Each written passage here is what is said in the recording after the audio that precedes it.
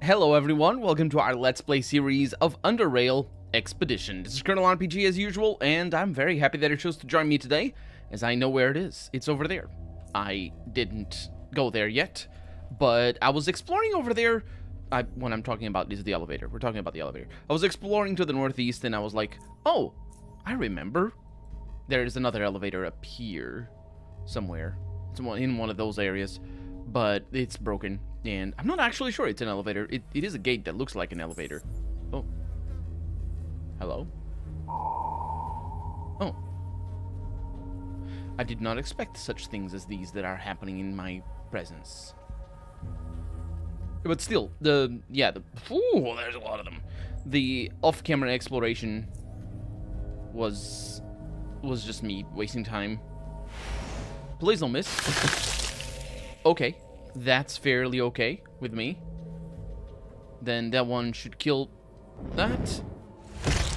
It didn't. Are we going to be okay with that? Yes, we are. I have action points for days. And with any luck, I can get you, but I can't. So, with any... Oh, I was going to say with any luck, you can get, can't get me. But that is a lie. Oh, there's another one, and it's a big one. It's a big one. Okay. Do that over there, and then this right here. Lovely. That's what I'm talking about. And now these things, they don't, they're not going to have anything interesting. And besides, we're not going to craft anything anymore. But if I could get some oddities, that'd be nice. Unfortunately for me, I have gotten all the oddities that I could get out of them. Out of those creatures. Oh, this, of course it's this area. The quintessential, oh, no. You can keep the, the quintessential uh, underrail area that I praised so, so high. And here we go. Elevator controls. Save the game just in case, because you never know. We have a save from the beginning of the episode, so it's fine. Oh. I don't like that.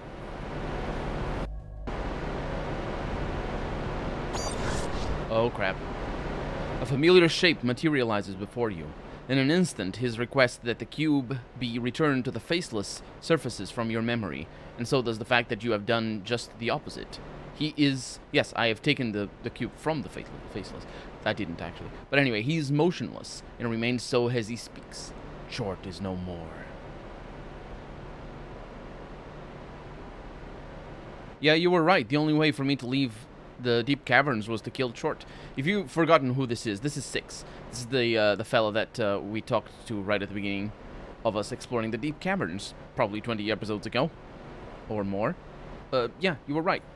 I was correct. Yes, that's similar. It's, it's, the, it's a synonym, actually.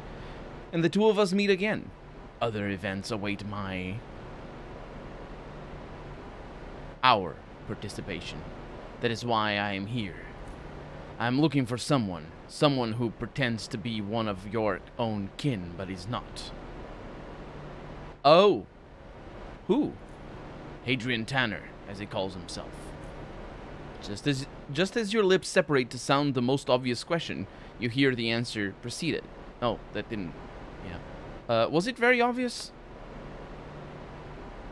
It... It wasn't. What happened? Why is he not... Why... I mean, Tanner... We haven't talked to him in hundreds of episodes. But he was... Uh, we never got a mission again from him. He was in Core City. And, um... He specifically... He was, you know, part of the big uh, quests, the, or the main quests at the beginning of the game. Very much so. But I never really understood that he wouldn't be one of us. Of my kin, specifically. Tanner must die, and few but myself can make sure that occurs. I am a powerful being, and so is he. We are the same kin, yet he conceals it better. The reason should be obvious. Nothing, none of this is obvious. None, absolutely none. Certainly not the reasons why he conceals it better. Because that would imply, the reasons why you do something good, better than other person is, you know, related to the how you do something better than the other person. Like, for example, do you play the guitar better than another person? What are the reasons for that? You know, they are definitely not obvious. There's no there's there's no situ- well, I mean, unless you know the people, you know, intimately, then you would know. Maybe the reasons are obvious, like somebody actually plays the guitar and the other doesn't. But the point the point is, I don't understand what any of this. Uh, but yeah, let's let's kill him. Uh, what did he do to deserve death? He committed a crime. I realized that, and that's why I asked. What? That does not concern you. So you need me to get to him? No. Tanner is no longer in Southgate Station. Yeah, he hasn't been there for a while. He knows I am after him. Wait, is Tanner... Hadrian Tanner. Was he the one that actually went to Core City, or was he the one... No, I'm mixing them up. Either way, I, none of this is obvious. I'm mixing them up. Tanner was the other one. So there's like this three, these three people that are the bosses of of uh, of uh, Southgate Station, and uh, one of them is Vera, the other is Tanner, and the other one is Gorski. That's the one, Gorski. I remember Vera was was really interested in. Oh, I'm connecting the dots now, even though it's still nothing. None of this is obvious. Vera was the one that wants us to become part of the Protectorate, which we might now that I helped the Protectorate so much. Uh, Gorski is the one who's an absolute jerk and trash, and also the leader of the military, effectively, of Southgate Station. And Tanner was the one that actually set us on our main mission, on the mission to get the cube. So it makes sense that this would be, you know, sort of a comeback, or not comeback, but you know, it's just it's it's it's coming all all back to him again. He knows I am after him, and if I am correct, he should be on his way to North Underrail. Our events are connected. Yours, Tanner's, mine. I do not know why, but I do know that such is the case. Yes, as I saw you being an essential participant in the destruction of Tchort, namely you are the only one, perhaps you are also an actor of similar importance in Tanner's, or even in other events. It's an option I would be foolish to disregard. After our conversation comes to an end, I will travel to North Underrail after him. I would recommend you do so too. North Underrail. This is important. We need to remember how. But yeah, all of the destruction, or all the destruction that emerged from the events we have witnessed is the consequence of his actions, in one way or the other. And his actions are unlikely to deviate from the norm. I wonder if he had the cube that's why all of this happened. That's why the Faceless attacked, and then through some shenanigans, the cube kept moving from one place to another. Although Tanner might have been behind it in terms of you know sending the the traders who had the cube in the first place, um, the ones that we found. I think we found the woman, but not the man. It was a couple, a woman and a man, um, and um, I think we found the woman, but the man never appeared. And I don't. I always. I said at the time that there is a way to, to see that man, and it that might have been my memory of finding that man now at the end of the game, or something. I I, I don't know. I, don't, I really don't remember if there's a way because we never did find him or her. Either way, one or the other. And his actions are unlikely to deviate deviate from the norm, says Six. If you want to prevent similar events from occurring, then North Underrail should be your next destination you will be able to find me in a place called Hexagon. Ask for six. Well, do I remember where Hexagon is? Because I... That name is not unfamiliar to me. North Underrail is this way, as we can see by our compass over here.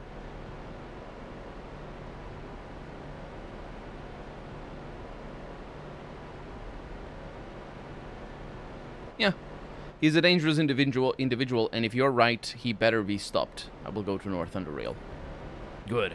The faceless blockade is no more, so the railroad should be unobstructed. The artifact. Give it to me.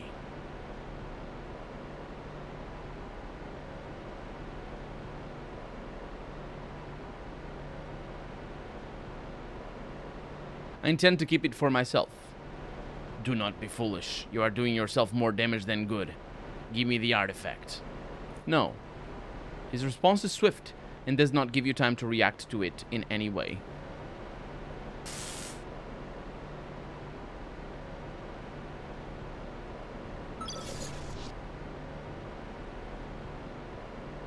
Hmm. or here I come. Oh, the elevator was stopped for a little while. I'm still stunned. Oh, look at where we are. We're in next to the, um...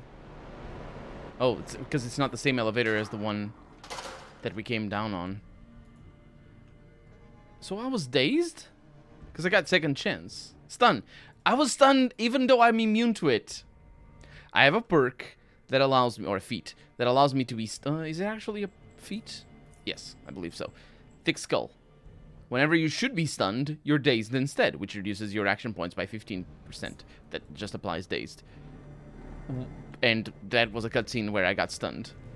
If you were expecting to get a different ending, because you get Thick Skull instead of whatever else you want to get, then you don't get a different ending. Like, for example, that. I believe I would have normally been stunned in this particular occasion. But instead I wasn't. Ooh. Okay. Let's go with the normal. Okay. So, as I said, I think I know where... Oh. Oh, yeah, fluorescent snout. Yeah. I think I know where we are. We are next... Oh. Yeah, elevator, no power. No kidding. Uh, we're next... I thought I thought we were actually in uh, scrapyard and whatnot. So where are we supposed to go? We have the SGS. So we are in the lower caves. So I need to go to one of the under rails. Oh, these pigs. Whack, whack. If you're by yourself, everything is fine, but we're definitely going to need to go to... Still remains from, from my previous expedition. The save games of this game are enormous, by the way. That's all because the game doesn't delete data. So this is... Yeah, this is directly to Southgate Station. How exactly is it to Southgate Station, though? Okay, that's how. Or rather, it's not how it, it, it is directly to Southgate Station, but rather, how did I forget that it was? And the reason is... Oh, yeah, we can't go over through there. The reason is that there's rocks. And by the time we're exploring these bits, we don't have a way to destroy the, the rocks. Yeah, this is that one area that I know so well, because this is a good uh, common passage point. And you just go this way. And explore, or not, don't explore. That's not what you do. You find some uh, um, bandits over there. And uh, yeah, but basically you return to, you know, other places that you visit. And of course, this is right by SGS. Oh, you just do that. Fair enough. Excuse me. Hey, Malcolm. Let's go to administration and library. I should talk to Vera. She's the only one that that's here. Or that should be here, anyway. From the moment you stepped into the room, Vera's eyes were fixed on you. However, you are aware that the worried look is not only due to your lengthy absence. Carrie, I'm so glad you're alive. After we heard Protectorate forces were moving towards the Institute of Tchort and not hearing from you for so long, we became really worried. Well, we have yet to determine if I'm actually alive, considering the things I've been through. I understand, and you deserve rest. I wouldn't want to delay it any longer, but something happened. Tanner disappeared. I know. She pauses. So, the word is already out? N well, uh, no. I mean, sort of. Whatever. Uh, tell me about Tanner's disappearance. He left his office some time ago, and no one has seen him since. No one saw him leave through any of the station's exits, which, uh, like he vanished. This has never happened before. So many things are happening around South Underrail, and his disappearance worries me. Vera looks at you, as if waiting for uh, to say something, or wanting to say something, but th that statement seems like it has been replaced by a, a different one. We still haven't checked his room. Since you are here, I think it is best you do it. Uh, why me? Usually I would approach Gorski with these kinds of things, but since he still is in Core City, that leaves you as the one I would trust the most with something this important. On that case, I guess I'll have to do. See Ezra. He will let you into Tanner's room. Keep your eyes open and try to find anything at all which might shed some light on what is going on here. Ezra, on my way. Good. Meanwhile, I think it's time I assemble the council. Return to me once you and Ezra inspect Tanner's room. I thought I was going to inspect Tanner's room. Not, not Ezra as well. Anyway, Ezra is in engineering, I believe. It's been a while. But I am correct. Ezra? Ezra looks at you with his one good eye and speaks in his usual calm and even fashion. Have you spoken to Vera? That's why I'm here. I'm ready to go to Tanner's room. Ezra presents the keycard to Tanner's room. Follow me.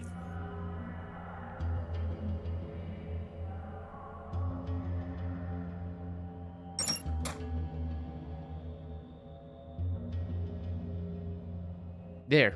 I will wait here while you inspect Tanner's room. Won't you help me? I wouldn't want to get in your way, Carrie.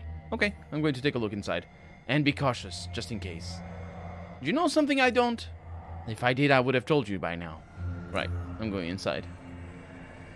Okay, first off, turn the light switch on. File cabinets are empty. Desk is empty. Shelves have patching kits, adventure repair kits, nothing important. You got the Sims icon over here. That's actually an inspecting or an inspectable thing. Hiccups as well. Oh my god, my hiccups, I'm very sorry. Got some lockpicks and some batteries.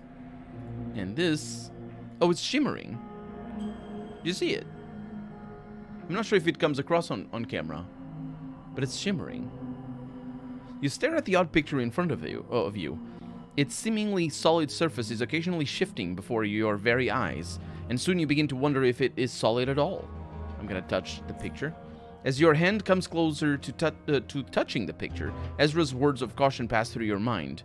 You ignore them. A warm sensation pulses through your fingers as they meet the surface and vanish in it. They feel as if you are pushing them through a viscous fluid, and they also feel distant. I am gonna push my arm through the picture. Slowly, your arm disappears up to the elbow.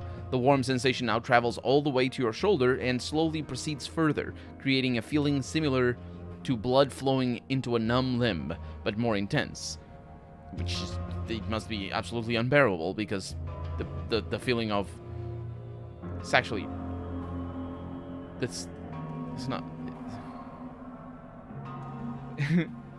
I understand what this I was gonna say because this is very painful. No, it isn't. A numb limb doesn't, you know, you don't. It, it's a numb limb is not a blood flow stopped. It is the nerves um, it's it's more to do with the nerves than with the blood, and um, it's the blood is always flowing to a numb limb, even if you don't feel the, the limb coming back to, from sleep. If, if uh, colloquially speaking. Anyway, but more intense. However, after holding this pose for a few more moments, the warmth begins to dissipate, you know, and your arm feels gone. Your mind begins to panic, screaming for the severed limb, and pain before becomes excruciating the pain becomes excruciating. I'm gonna go through the picture. Despite the burning urge to pull your arm out, you instead push your whole body through. For a brief moment, it feels like you swam through thick, warm liquid, yet you are clean upon passing through. The pain is gone, and you get to the other side, whole. I don't know what that was supposed to be. If you're wondering that, I, I'm wondering that as well.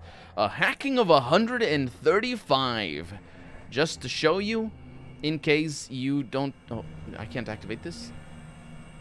I can't. It's not... Um, doesn't have enough charge for some reason. How much charge does it use? 15! That explains it. So, if you didn't get enough hack hacking through the game, you don't get this box. Unfortunately for everybody, it's just a plasma core. So, Metal fragments, though. I see you. You're somewhere. Just can't see you. I wish this game just... The, the, I wish. I really wish this game had an interface upscale. Or not an interface upscale. It definitely has an interface upscale. And I think I upscale it up by a little bit.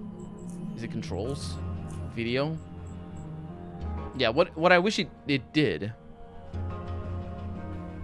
Wait. That didn't... That wasn't there before.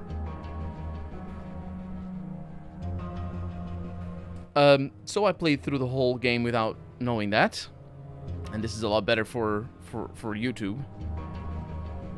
Because, you know, it's very tiny. I'm playing on full HD. Right.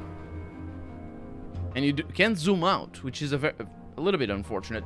It's really good that you can play at 150 though. It does make the image a little bit. Yeah, this is this is the good stuff though. This is the good stuff. Let's go with this. Where are these metal fragments? There they are. They're like red things. You see fragments of what appear to be a realistic human face mask.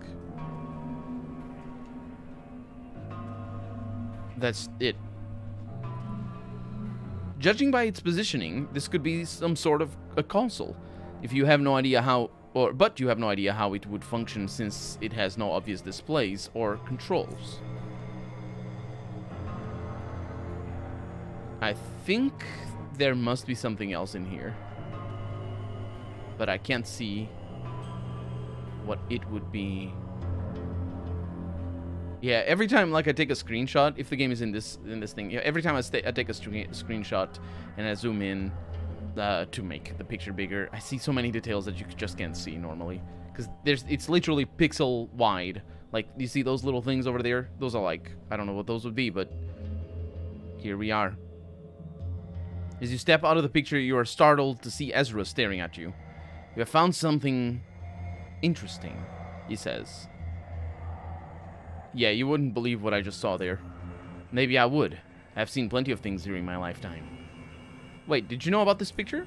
No, and still calling it a picture seems rather inaccurate, inadequate. Based on, well, it doesn't. It really doesn't seem rather inaccurate, in, in, inadequate at all, because the picture is it's it's still a picture. It just functions as another thing. It's it's not like the what I'm saying is, you know, a door can be a picture as well, and vice versa. Based on what I have just seen, he says, tell me, Carrie, what was on the other side of this portal? It's a picture. A small room with a stasis cell of some kind and two desks. There was a chemical set and a number of different chemicals there, along with what appeared to be mask fragments. Ezra's.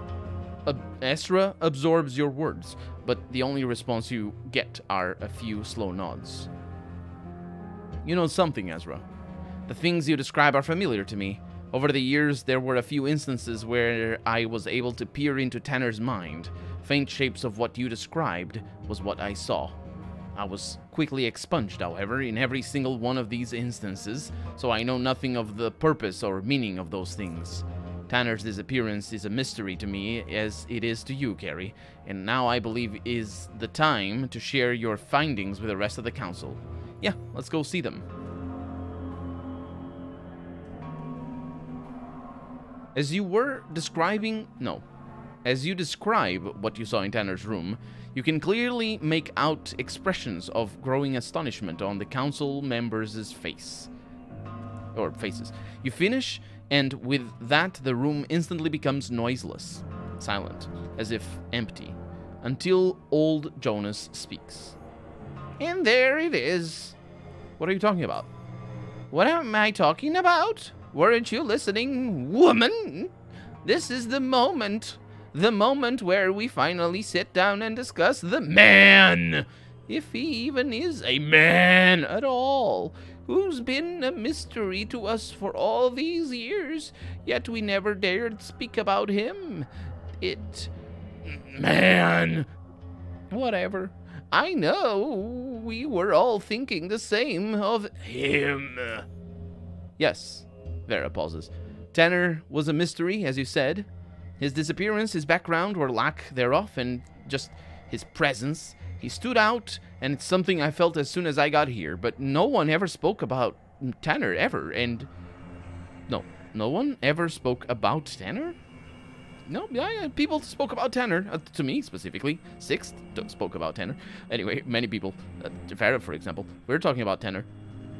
Uh, and he was a competent man, so I accepted things as they were. I think it's no one ever spoke up about Tanner. Which also wouldn't work. Sp to speak up is to complain, but not complain in the sense, you know, you would say no ever nobody ever complained about Tanner, which would make sense. But if you say spoke up, that implies that there's something that we are analyzing specifically. and there is, but there there's no reason why you know the fact that Tanner isn't human. That's that's what we're talking about here specifically. But nobody would ever speak up about that because speaking up is about something specific rather than complaining. You can complain generally speaking, but but you can be you can complain about somebody without actually being without speaking up about that that somebody. Speak up is a fun is a fun term to think about. I don't. That's not a term that we have. It doesn't translate in Portu into Portuguese, my native language it's just very specific. It's a very specific type of complaining is what I'm talking about. It's it's accusing somebody and complaining. And it's my yeah, accusing yeah, it's probably accusing. Speaking up is probably accusing somebody of something. Either way. Uh he was a competent man, so I accepted things as they were. Well, Vera, it wasn't only you. I remember Tanner when he came to the station. I had hair and more teeth. I still have hair, just not that much and also the teeth. And the epithet old, he does air quotes, was far off from becoming stuck to my name. Oh yeah, because he's old Jonas, right? Tanner, he looked barely, barely different than what he looks now. Oh yeah, he's a vampire for sure but we're out of time for the day, so we're going to have to figure out why he's a vampire in the next episode. For right now, I'm Colonel RPG, and this has been Underrail Expedition. I really hope you've enjoyed it, and if you did, go ahead and leave a comment, like the video if you want to see the next episode come out sooner rather than later, but above all, thank you so much for watching, and I hope I'll see you next episode. Bye-bye.